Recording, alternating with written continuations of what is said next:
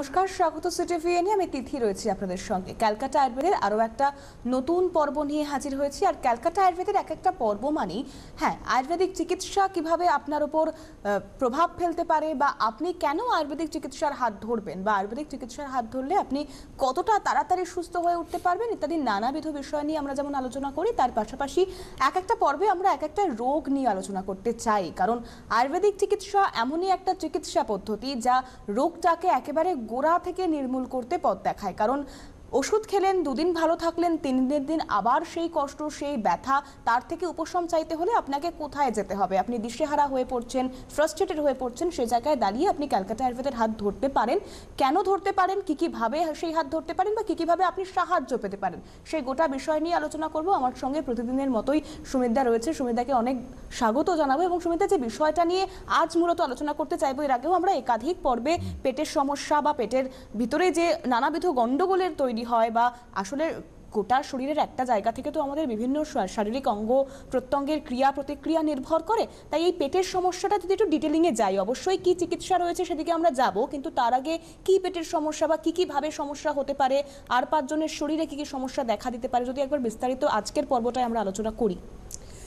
দেখুন, এই পেটের সমস্যা একটা বড় প্রবলেম একটা, আর এবং এই পেটের থেকেই কিন্তু দেখা যায় যে আমাদের বেশিরভাগ অসুখ বিসুখ কিন্তু সৃষ্টি হয়, ঠিক আছে? ধরুন পেটের সমস্যা থাকলেই দেখা গেছে যেমন গেছে যে ডায়াবেটিসের সমস্যা আসছে আবার পেটের সমস্যা থেকেই দেখা গেছে যে আমাদের হাইপার টেনশনের প্রবলেম হয়। আবার পেটের এই প্রবলেম থেকেই দেখা যায় অনেক সময় যে কারও গল ব্লাডারের স্টোন হচ্ছে আবার এটার থেকেই দেখা যায় যে কারও হচ্ছে পাইলস ফিস্চুলার প্রবলেম চলে আসছে। তো মানে পেট একটা এমন জায়গা মানে এটা আমাদের কি বলব অগ্নিগর্ভ বলা যায়, যেই জায়গাটার থেকে আমাদের ডাইজেশনটা হয়, ঠিক আছে? এই, এইটাই হচ্ছে ডাইজেশন বা হজমের বা আমাদের শরীরে যে পুষ্টি যায়, তার মেন জায়গা হচ্ছে, অবস্থান হচ্ছে আমাদের পেট। সেই পেটের বিভিন্ন অংশ আছে, তার মধ্যে যে পেটের মধ্যে যে ক্রিয়াগুলো হয়, সেখান থেকেই হয় আমরা ভালো, সুস্থ থাকি, না হলেও অসুস্থ হয়ে পড়ি, ঠিক আছে? এমনকি দেখা গেছে, কিছু খেয়ে ফুড পয়জনিং হচ্ছে, সেটাও কিন্তু পেট থেকেই হচ্ছে। কারণ এখান থেকেই বিভিন্ন সব আমাদের ভালো আর মন্দটা শরীরের মধ্যে ছড়িয়ে পড়ে।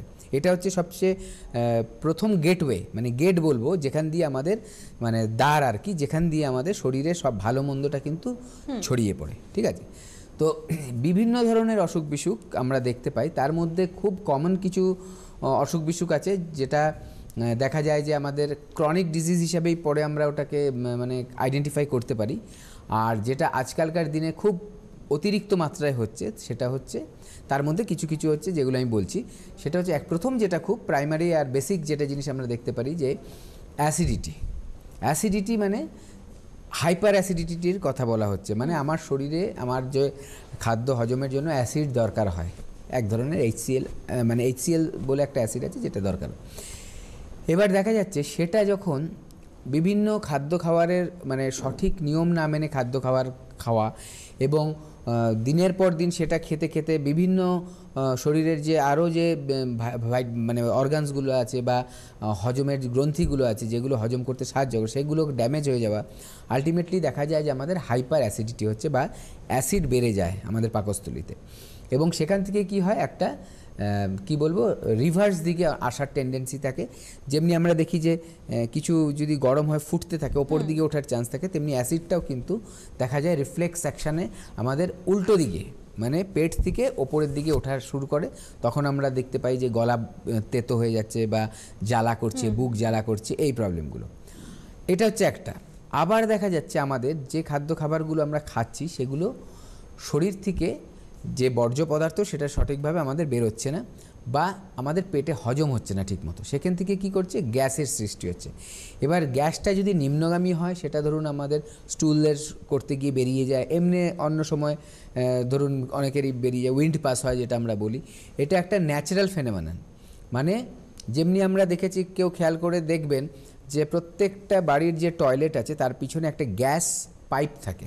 এটা থাকতেই হবে, সেটা ফ্ল্যাট হোক বা ধরুন একটা কোনো নিজের কোনো রেসিডেন্সিয়াল একটা হাউস হোক সব কিছুতেই দেখা যাবে গ্যাস পাইপটা মাস্ট এটা না থাকলে কী হবে? ওই যে চেম্বারটা আছে যেটা টয়লেটের চেম্বার যেখানে গিয়ে আমাদের মানে আবর্জনা বা ধরুন মল গিয়ে জমা হয় সেখানে কিন্তু একটা গ্যাসের সৃষ্টি হবে।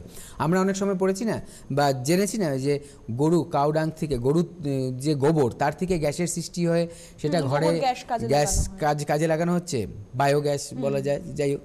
তো এই গ্যাসটা কিন্তু সেরকমই মানুষের পেটেও তৈরি হয় এবং তার কাজ হচ্ছে সেটা যেহেতু আমাদের বর্জ্য পদার্থ পাস হয়ে আউট হয় আমাদের স্টুল স্টুলের জায়গা দিয়ে অ্যানাস দিয়ে সেখানে মলদার দিয়ে সেটাও কিন্তু বেরিয়ে যায় ঠিক আছে?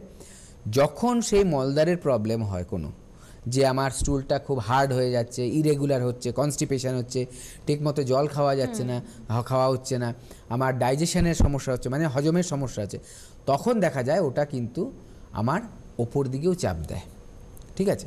ওপর দিকে যখন আমাদের চাপ দেয়, তখন আমরা বলি যে পিঠে কামড়ে ধরছে, ব্যথা হচ্ছে, বুকে ব্যথা হচ্ছে চেস্ট পেন হচ্ছে। এবং এগুলো খুব কনফিউজিং হয় যে অনেকে ভাবে যে হয়তো ওই গ্যাসের ব্যথাটাকে কেউ হার্টের ব্যথা হিসেবে ধরে নেয় আবার অনেকে হার্টের ব্যথাটা ভুল করে গ্যাসের ব্যথা মানে হিসেবে যে কোনো রকম একটু পেটে বুকে ব্যথা হলেই একটা অ্যান্টাসিড খেয়ে নেওয়া বা অ্যাসিডিটি বলে হ্যাঁ। বেছে নেওয়া বা প্রবণতা একটা হ্যাঁ, প্রত্যেকটা ঘরেই কিন্তু থাকে। মানে চিকিৎসকের পরামর্শ নেওয়ার আগেই নিজেদের হ্যাঁ, নিজেই এই ডাক্তারিটা আমরা করে ফেলি।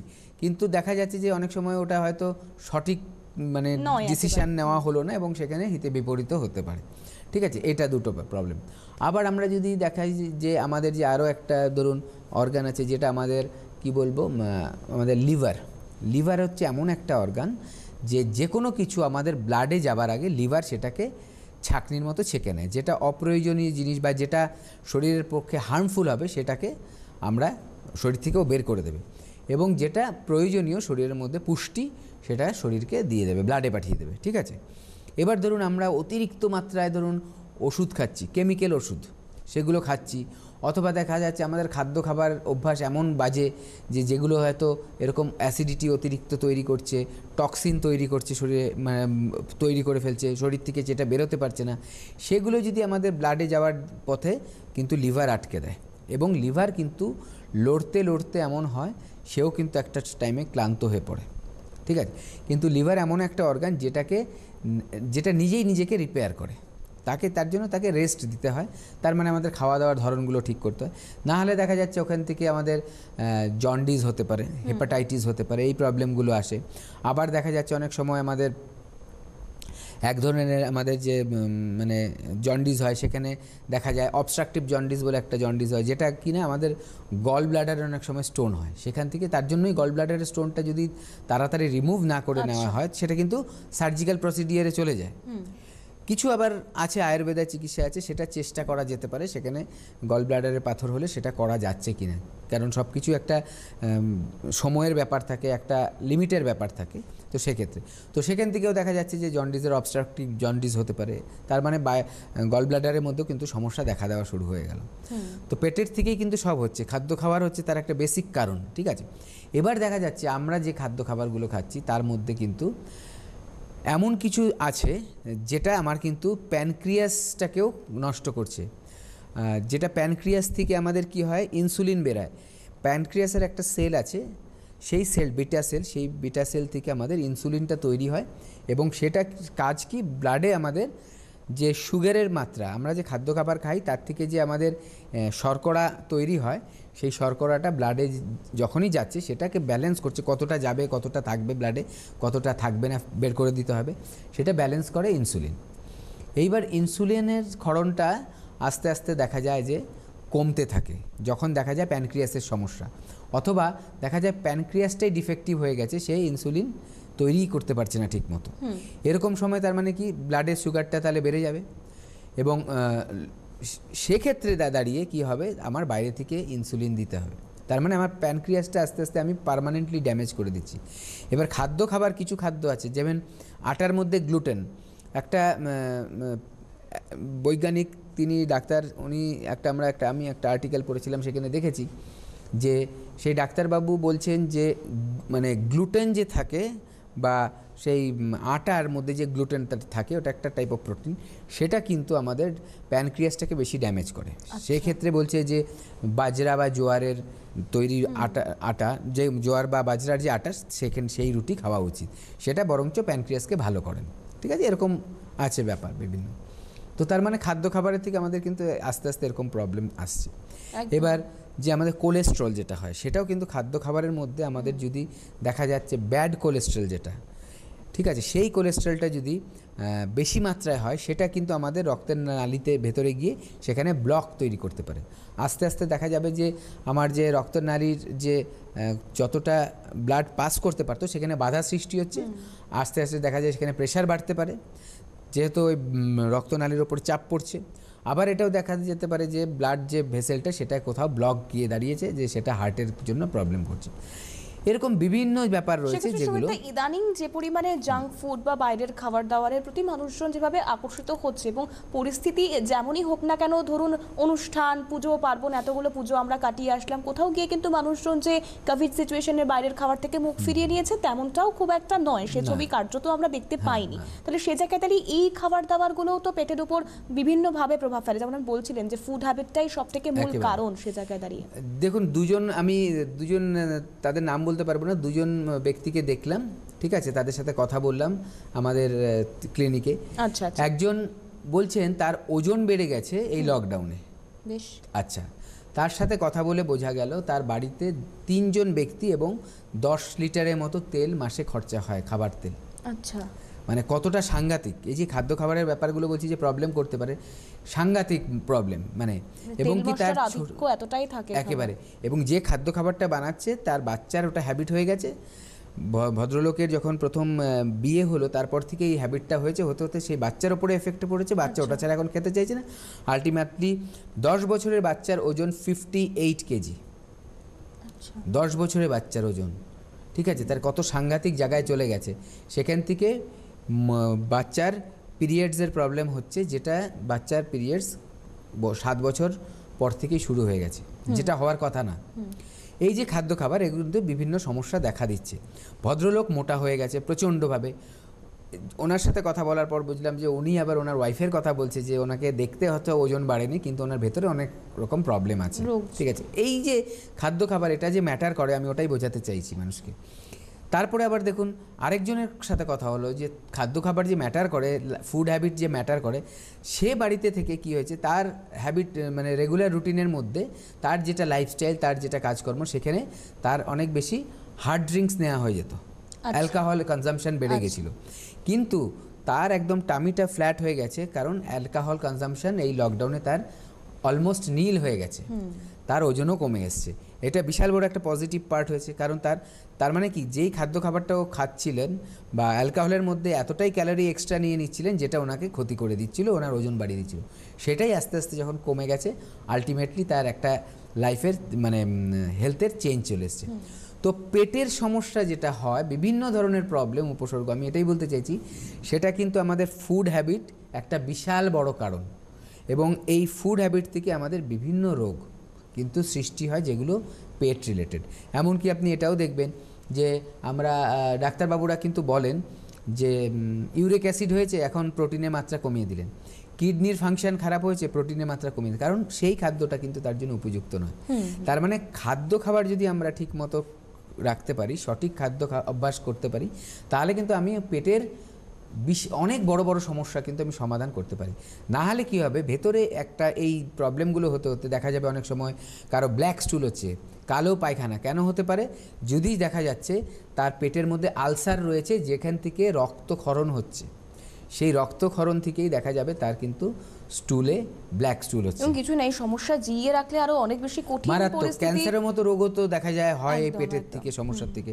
বা বিভিন্ন মানে কি বলব কোলন ক্যান্সার এরকম তো অনেক কিছুই রয়েছে। তো এই যে আলসার হয়ে যাওয়া ক্যান্সার হয়ে যাওয়া এগুলো তো মানে মানুষের মানে একেবারে শেষ দিকে মানুষকে নিয়ে চলে যাওয়া। একদমই তাই এবং আমাদের প্রত্যেকটা পর্বের একটাই লক্ষ্য যে রোগ যদি আপনার শরীরে বাসা বেঁধেই থাকে, তাহলে রোগকে কখনো বন্ধু ভেবে তাকে জিয়ে রাখার কোনো জায়গা নেই। যত তাড়াতাড়ি সম্ভব সেই রোগটাকে নির্মূল করতে হবে, পরিহার নিতে হবে, এবং সব থেকে বড় কথা, একটা রোগ হলে তার গোড়া থেকে কি করে নির্মূল পাওয়া যায়, গোড়া থেকে তাকে কি করে নির্মূল করে দেওয়া যায়, সেই জায়গাটার দিকে নজর রাখতেই ক্যালকাটা আয়ুর্বেদের এই প্রত্যেকটা পর্ব, কারণ আমরা সবসময় চাইছি যে গোটা পরিবেশ, পরিস্থিতি সুস্থ থাকুক, মানুষজন সুস্থ থাকুক, এবং এই সুস্থ থাকতে হলে সবার আগে যেটা করতে হবে, আপনাকে অনেক বেশি নিজের উপর যত্ন নিতে হবে। কারণ আপনি যদি অনেক বেশি ক্যাজুয়াল হন আচ্ছা পায়ে ব্যথা করছে, পেটে ব্যথা করছে, করুক, একটা অ্যান্টাসিড নিয়ে নিলাম, হয়তো অ্যাসিডিটি হয়েছে, এই হয়তোর জায়গাটাই অনেক বেশি কঠিন হয়ে দাঁড়ায়। চটজলদি রিলিফ পাওয়ার জন্য কিন্তু আয়ুর্বেদিক চিকিৎসা না। আয়ুর্বেদিক চিকিৎসা হচ্ছে মানুষকে সুস্থ করার একটা পদ্ধতি। তাকে আগের জায়গায় ফিরিয়ে নিয়ে যাওয়ার একটা পদ্ধতি। তার মধ্যে যে ঘাটতি, যা সমস্যাগুলো থাকে সেগুলোকে কারেকশন করা যাতে একটা ওভারঅল তার শরীরের মানে কি বলব প্রত্যেকটা সিস্টেম ঠিকমতো কাজ করে একজন হিউ- একটা হিউম্যান বডি ঠিকমতো কাজ করে। তো সেক্ষেত্রে তাকে সময় দিতে হবে ধৈর্য ধরতে হবে কারণ আমার যেটা অসুখ আছে আমি সেটাকে সারাতে পারলাম না সেটাকে চাপা দিয়ে রাখলাম তার উপসর্গগুলো হয়তো লোকের সামনে তখন প্রকাশ পেল না বা আমি সেই উপসর্গগুলো যেহেতু নেই আমি ভাবলাম যে আমি সুস্থ হয়ে গেছি না কিছুদিন পর সেটা আবার কিন্তু চলে আসতে পারে। তো এই জন্যই আমি বলব, এখানে মাথায় রাখতে হবে যে আয়ুর্বেদিক চিকিৎসার জন্য একটু সময় দিতে হবে এবং সব কিছু হারিয়ে মানে যখন আর কোনো উপায় নেই, মানুষের শেষ সময়, তখন কিন্তু আয়ুর্বেদিক চিকিৎসার কাছে আসা কোনো মানে হয় না।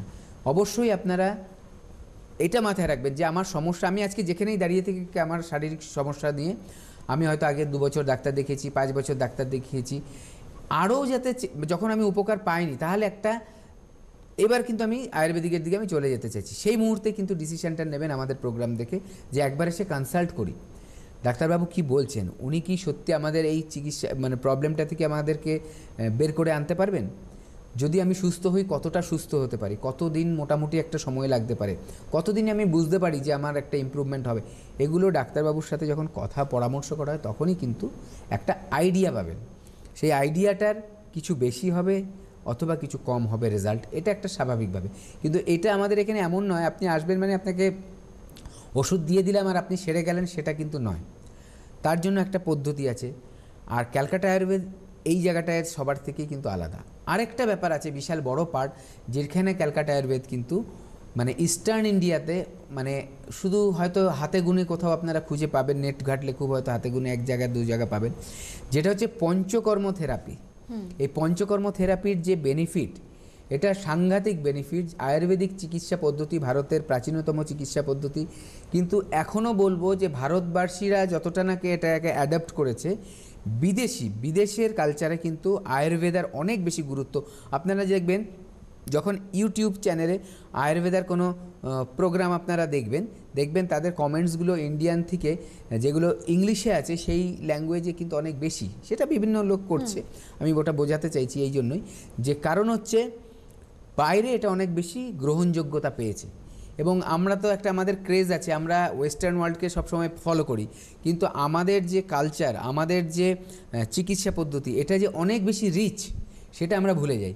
আমরা দেখবেন বাইরে থেকে কেউ এলে তার ভ্যালু অনেক বেশি দিই কিন্তু বিদেশিরা আয়ুর্বেদ- চিকিৎসাই কিন্তু আমাদের চিকিৎসা শাস্ত্রের আতুর ঘর বলা একেবারে গোড়া থেকে এই চিকিৎসার হাত ধরেই বিজ্ঞান উন্নত হয়েছে প্রযুক্তি উন্নত হয়েছে চিকিৎসা ব্যবস্থা উন্নত হয়েছে। যদি কেউ বাইরে থেকে এলো আমরা ভাবলাম যে ইনি অনেক অনেক বড় ডাক্তার অনেক বেশি জানেন এর কাছ থেকে আমি আয়ুর্বেদিক চিকিৎসা নেব। কিন্তু দেখা গেছে সে হয়তো কোর্সটা করে গেছে ইন্ডিয়াতে। এটাও হতে পারে। বা দেখা যাচ্ছে বিদেশের সম্ভ্রান্ত পরিবাররাও কিন্তু ভারতবর্ষে এসে আয়ুর্বেদিক চিকিৎসার সাহায্য নিচ্ছে। এটা বুঝতে হবে আমাদের যে আয়ুর্বেদিক চিকিৎসার গুরুত্বটা কী। হ্যাঁ অবশ্যই তার সাথে একটা ভালো প্রতিষ্ঠানের নাম জড়িয়ে জড়িয়ে থাকা উচিত। কারণ সেটা না হলে আমি আয়ুর্বেদ মানেই যে আমি গাছের তলায় কেউ একটা প্রোডাক্ট নিয়ে বসে গেল বিক্রি করল মাইকে অ্যানাউন্স করে একটা প্রোডাক্ট বিক্রি করল টিভিতে একটা দেখিয়ে দিল মানেই সেটা যে অথেন্টিক আমার ট্রিটমেন্টটা হবে ঠিকভাবে সেটা কিন্তু নয়। একেবারে এবং সে জায়গায় দাঁড়িয়ে যেহেতু সুমিতা বলছিলেন যে পঞ্চকর্মার কথা তাই পঞ্চকর্মা থেরাপিটা এক ঝলক আপনাদের দেখাবার চেষ্টা করব। কারণ আপনারা যখন ক্যালকাটা আয়ুর্বেদে আসবেন আপনাদের চিকিৎসার প্রয়োজনে হয়তো এখন অনেকেই আছেন পর্দার ওপারে যারা অলরেডি পঞ্চকর্মা থেরাপি নিয়েছেন এবং যারা নেননি যারা জানেন না তাদের জন্য চলুন একবার দেখে আসি পঞ্চকর্মা থেরাপি এখন আমরা যেই পদ্ধতিটা দেখছি, এটা হচ্ছে স্নেহন।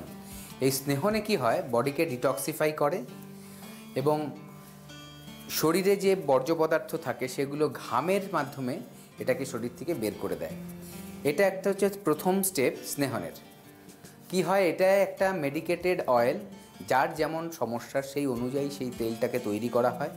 আয়ুর্বেদিক বিভিন্ন গাছপালার নির্যাস থেকে সেটা তৈরি হয়, একটা অয়েল বেস থাকে এবং সেটাকে কিন্তু শরীরের বিভিন্ন অংশে তার প্রলেপ দেওয়া হয় বা একটা মাসাজ দেওয়া হয় স্মুথ একটা হালকা মাসাজ দেওয়া হয় যাতে শরীরে এই তেলটা মিশতে থাকে। এই পদ্ধতিটিকে আমরা বলছি স্নেহন। যেটা মেডিসিনের গুণাগুণ আছে সেটা তেলের মধ্যে রয়েছে। তার সাথে সাথে কি হচ্ছে? আমাদের শরীরে ব্লাড সার্কুলেশনটা বাড়ছে মাসেল স্টিফনেস কমছে এবং বডি কিন্তু রিল্যাক্সড হচ্ছে। এটা কিন্তু আমাদের মনকে ঠিক রাখতে কিন্তু বডি এবং মন দুটোকে যেহেতু একসাথে একজন আরেকটার পরিপূরক হিসাবে ইউজ করা হচ্ছে, তো দুটোই কিন্তু আমাদের ভালো রাখার জন্য বিভিন্ন ধরনের পদ্ধতি করতে হয় পঞ্চকর্মায় এবং তার জন্য এই স্নেহনের কিন্তু একটা বড় ভূমিকা রয়েছে। আমাদের যে আজকের টপিকটা আইবিএস সেখানে যেহেতু আমাদের ডাইজেশনের ডাইজেশনের ব্যাপার রয়েছে, একটা হজম এর ব্যাপার বা পাচন ক্রিয়ার বা পাচনতন্ত্রের বিভিন্ন একটা রোল রয়েছে তার একটা সুস্থতা কিন্তু বড় প্রয়োজন। সেখানে আমাদের হাতের, পায়ের যেসব জায়গায় স্নেহন হচ্ছে, তার সাথে কিন্তু আমাদের পেটের, পেটেরও কিন্তু স্নেহন করানো হচ্ছে, যেটা আমাদের অয়েল অ্যাপ্লিকেশন বলছি মেডিকেটেড অয়েল অ্যাপ্লিকেশন এতে কি হচ্ছে মাসেলসগুলো কিন্তু টোন হয় মাসেলস অনেক সফট থাকে মাসেলের স্টিফনেসটা কমে এবং প্রপার কিন্তু আমাদের বডি ফাংশন করে। এবার আমরা দেখে নিলাম যে স্নেহনের পদ্ধতিটা। এই পদ্ধতিটা যেটা আমরা এখন দেখছি, এটাকে বলা হয় শোধন। শোধন মানে হচ্ছে একটা জলের বাষ্প তৈরি হচ্ছে ভেতরে, এই চেম্বারটার ভিতরে, এবং সেই জলের বাষ্পটা সারা শরীরে ছড়িয়ে যাচ্ছে, এবং শরীর থেকে কি হচ্ছে, ঘামের মাধ্যমে বডিটাকে ডিটক্সিফাই করছে টক্সিনটাকে বের করে আনছে। দেখুন, শোধন হয়ে গেছে এখন পেশেন্ট ফিরে আসছে ওই জায়গা থেকে। এবং দেখুন, সারা গা কিন্তু ঘামে জর্জরিত। পুরো ঘাম তৈরি হয়েছে এই বাষ্প থেকে এবং এই ঘামটার মাধ্যমেই কিন্তু শরীর থেকে টক্সিনটা বেরিয়ে যাচ্ছে। এবার আমরা দেখছি বমনের পদ্ধতি। একটা মেডিকেটেড ড্রিঙ্কস পেশেন্টকে খাওয়ানো হয় এবং তারপর সেটা কিন্তু আস্তে আস্তে স্বেচ্ছায় বমি করানো হয়। মানে ইচ্ছাকৃতভাবে বমি করিয়ে পেটটাকে পরিষ্কার করানো হয় এবং স্টমাক ক্লিনিং যেটা বলছি, স্টমাক ক্লিনজিং করা হয়।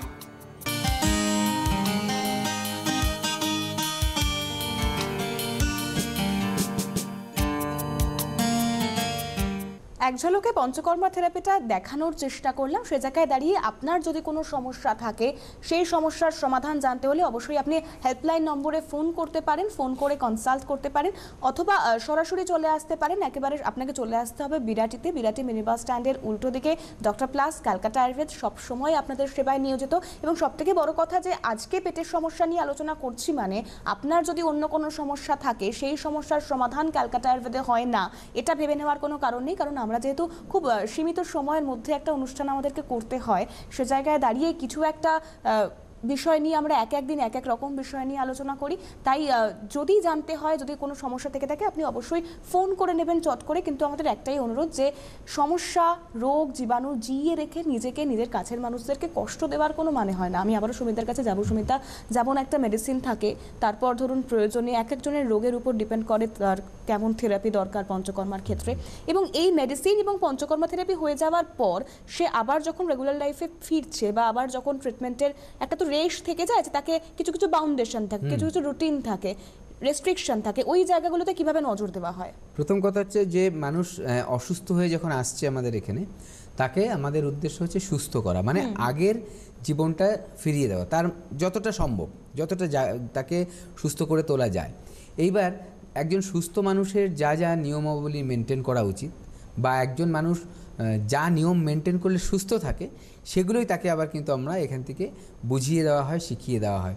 তার জন্য কি থাকে? তার খাদ্য খাবারের একটা তালিকা থাকবে যে এগুলো আপনার জন্য উপযুক্ত এগুলো আপনি বেশি খাবেন এটা খাবেনই না আর কোনটা কম খেতে হবে। এভাবে গাইড যাতে তার সারাদিন যা খাচ্ছে সে যাতে বুঝে যায় কোনটা তার জন্য বেশি প্রয়োজন কোনটা কম প্রয়োজন কোনটা একেবারেই তার জন্য ক্ষতিকারক।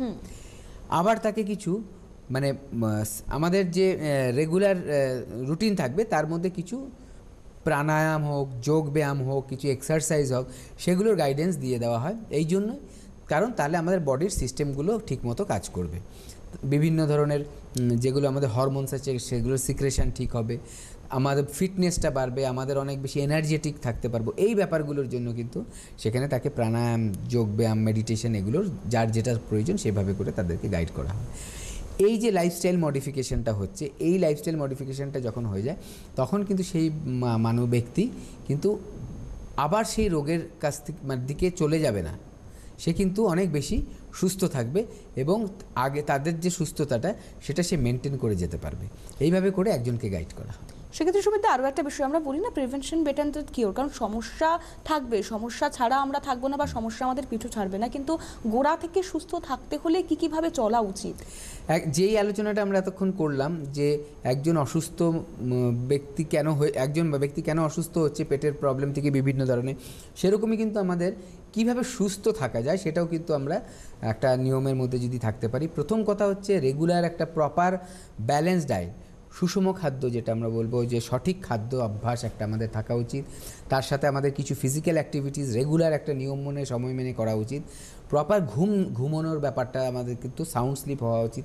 অ্যাডাল্টসদের জন্য অ্যাপ্রক্সিমেট সাত ঘণ্টা। এগুলো যদি আমরা নিয়ে মেনে চলতে পারি এবং একটু মাইন্ডটাকে যদি রিল্যাক্স রাখতে পারি তাহলে দেখা যাবে আমি কিন্তু বিভিন্ন রোগের হাত থেকে নিজেকে বাঁচিয়ে রাখতে পারব। একেবারে, এবং তার সঙ্গে সঙ্গে যেহেতু সময় আজকের পর্বের মতো একেবারেই শেষ, তাই সুমিতদাকে অনেক ধন্যবাদ জানাব আমাদের সঙ্গে থাকার জন্য। পাশাপাশি আপনাদেরকেও ধন্যবাদ জানাব আমাদের সঙ্গে থাকার জন্য। আশা করব আপনারা ভীষণ সুস্থ থাকবেন, ভালো থাকবেন। অবশ্যই ক্যালকাটা আয়ুর্বেদের বিভিন্ন পর্বে নজর রাখুন। তাহলে হয়তো আপনাদের যা যা মুশকিল রয়েছে, সেই মুশকিল আসানে ক্যালকাটা আয়ুর্বেদ অনেকটাই সাহায্য করতে পারে। আজকের পর্ব এখানেই শেষ করছি। নমস্কার।